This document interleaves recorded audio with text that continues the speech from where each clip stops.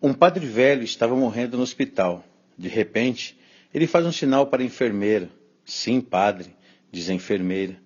Eu queria ver o Lula e a Dilma antes de morrer, sussurra o padre.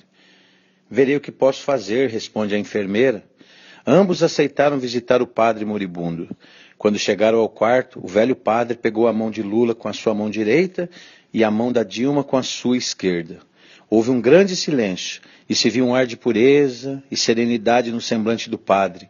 Lula então falou: Padre, porque fomos os escolhidos dentre tantas pessoas para estar ao seu lado no final de sua vida? O velho padre lentamente falou: Sempre, em toda a minha vida, procurei ter o modelo do nosso Senhor Jesus Cristo. Amém, disse Lula, e amém, disse Dilma. O padre continuou.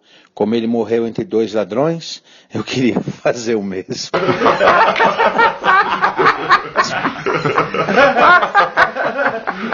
Show de bola.